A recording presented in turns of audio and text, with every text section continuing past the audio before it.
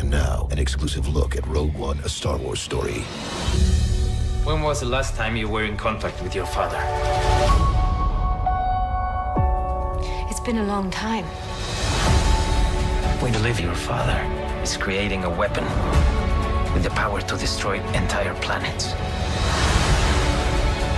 If my father built this thing, then we'll need to find him and bring him back. This is our chance to make a real difference. Ready? I couldn't face myself if I gave up now. None of us could.